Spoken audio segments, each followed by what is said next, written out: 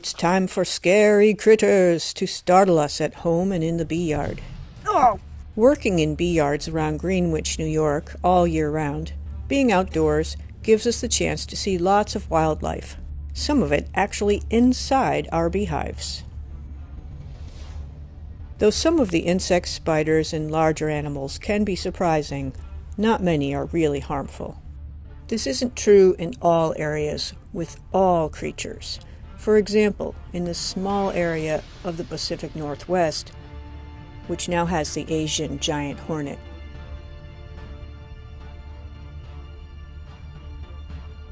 By far, the non honeybee creatures we see the most are spiders.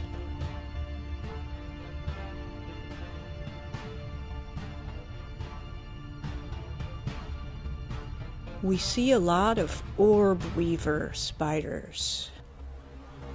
Some of them I couldn't identify.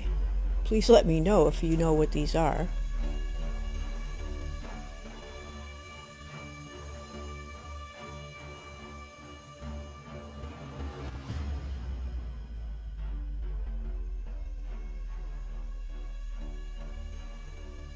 Check out this cool web with a rainbow effect as we move past it.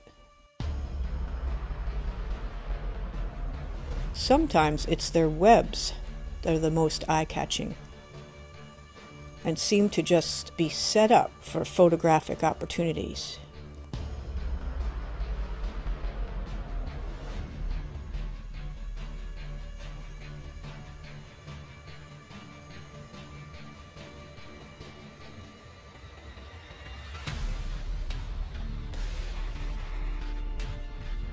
That praying mantis is eating one of my bees.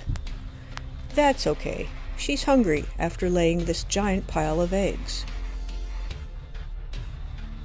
Sometimes praying mantises eat our honeybees, but sometimes they eat yellow jackets too. Here's a big dragonfly resting on Osmar's veil. They may also eat a few bees. A strong colony of bees will kill yellow jackets or other invaders.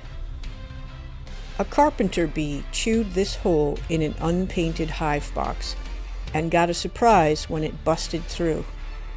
The bees will drag that body out soon.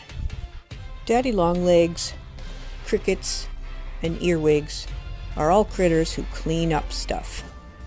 They don't harm any bees. They just eat junk that's left around.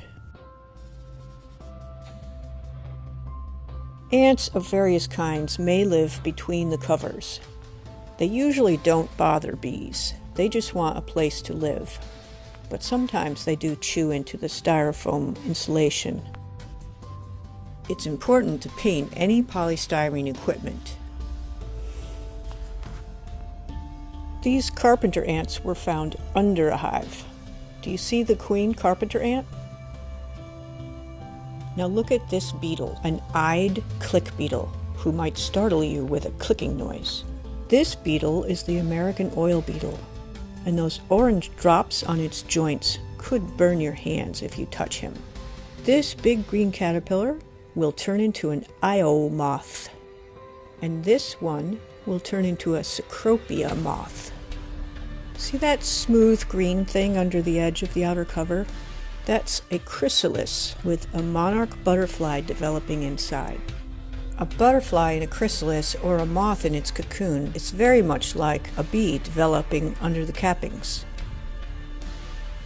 I almost missed this tiny toad, but the painted turtle came right past us. This little guy is a red eft, the land stage of the eastern red spotted newt. Mice should be kept out with a metal mouse guard. They can destroy combs. I felt pretty lucky to see this fox family in the yard.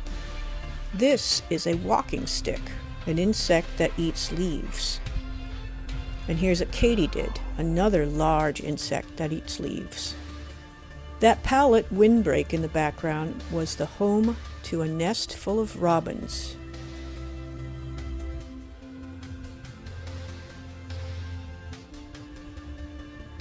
And here's a black-capped chickadee, getting some bees that had flown out in the winter to get a cleansing flight. I don't begrudge him his snack.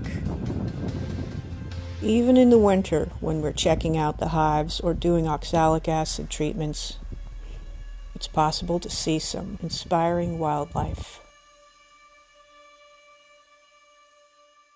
I hope the critters you see near your bee yard are not scary, and they might even help you relax.